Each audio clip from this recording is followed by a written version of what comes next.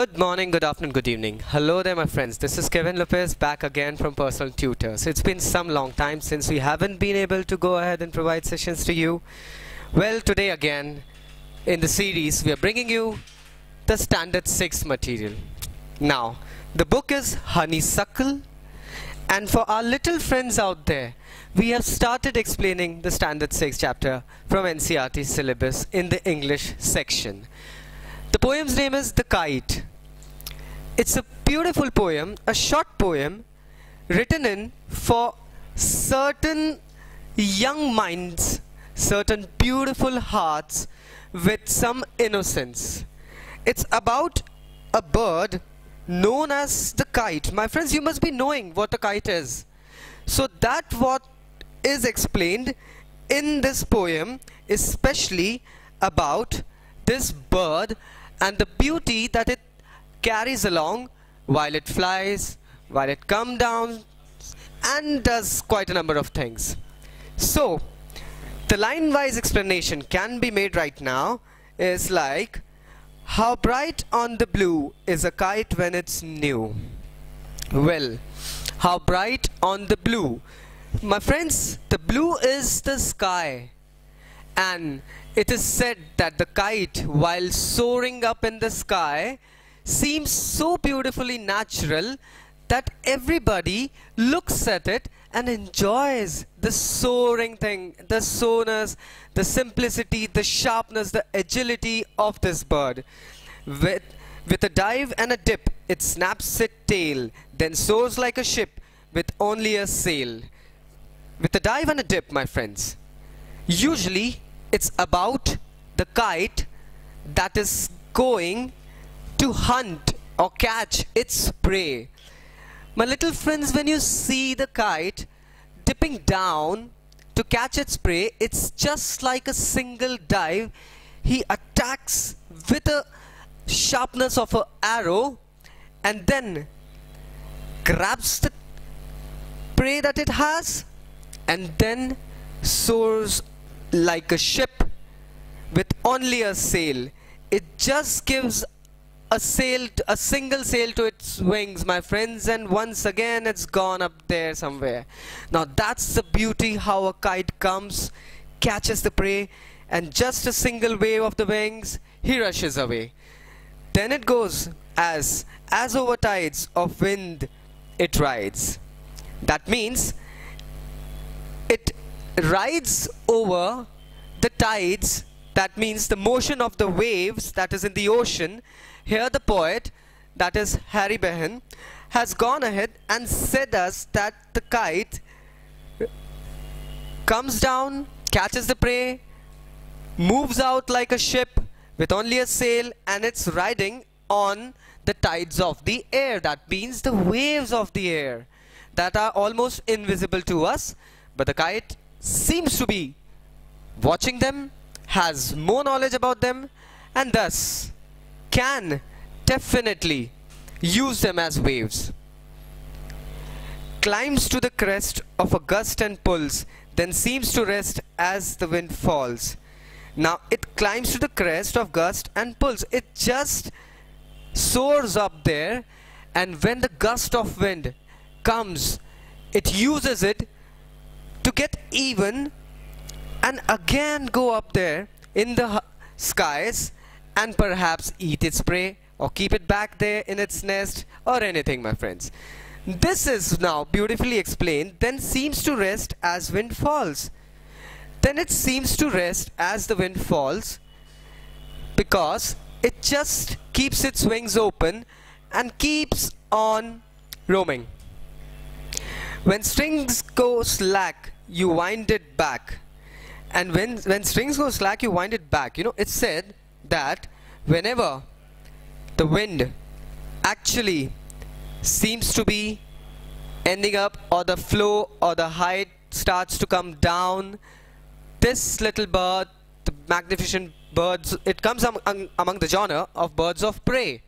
So this bird actually gets back the length the height by waving some more it actually soars its wings once again with a few more winds so that it again gains the height.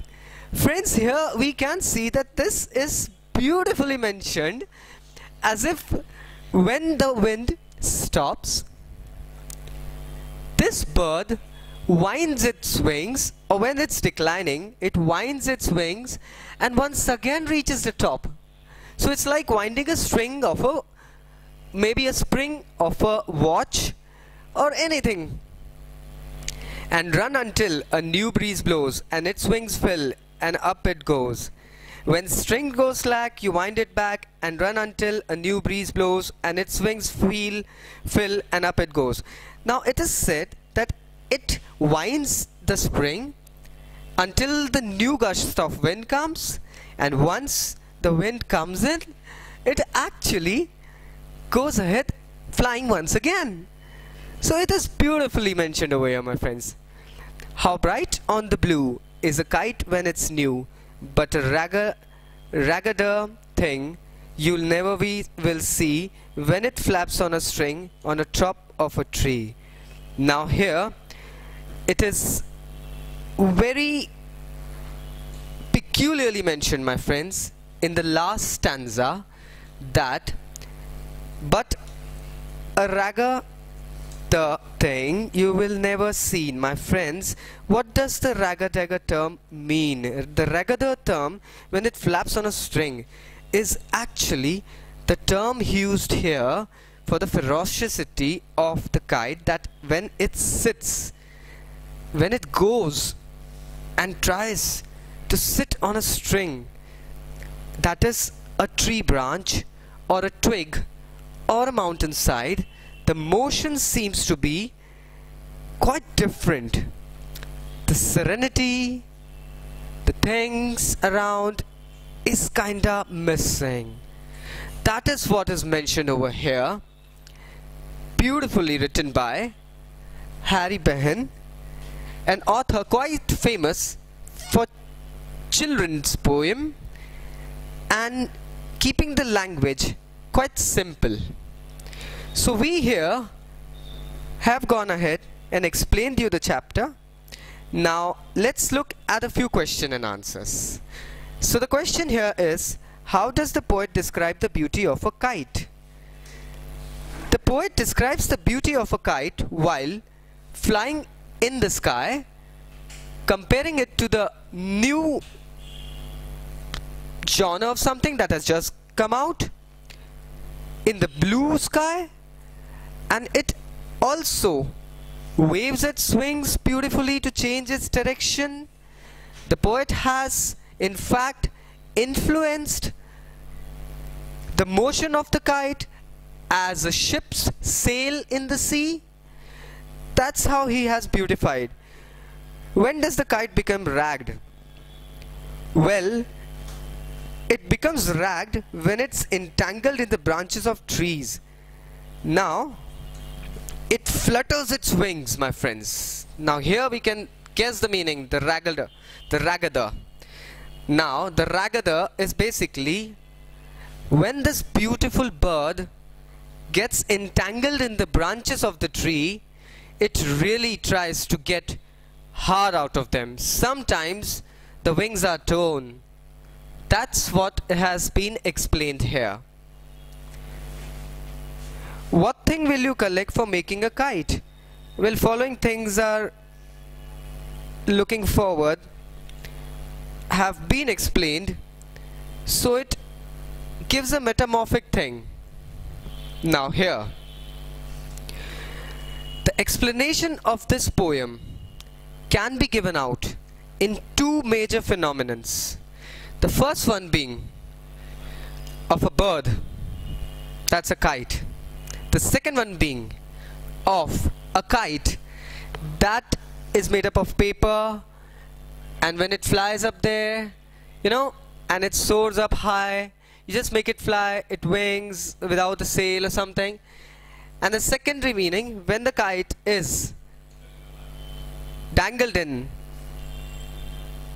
the branches it's torn it's usually torn you can't get it back So there have been metamorphical meanings of this poem connecting it to the bird, connecting it to the materialistic thing that we use to fly. Perhaps there have been speculations and each and every phenomena suit over here. How does the new kite look? The new kite looks bright. How does it snap its tail? It snaps its tail with a dive and a dip. How does the poet compare the kite to a ship? Well, the, the kite is compared to the ship when the poet actually sees it soaring up there without any jerks or moments. Now, for you especially my friends, I would suggest that to my top left is an information button. If you click at this button, you will be going ahead and you will be directed towards the link, towards the permalink of the channels. And also, I would suggest you that to my right, you will be having an annotation button where you can actually see that the link to the videos are there.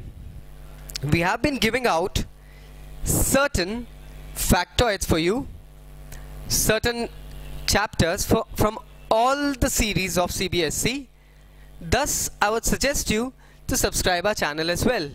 If you want to know something about us please press the button about us. And as I said to you earlier just go ahead and check out the permalinks that have been given at the right hand side of mine so thank you very much today my friends for attending my session. It was nice to have you. Such beautiful thing. See you again.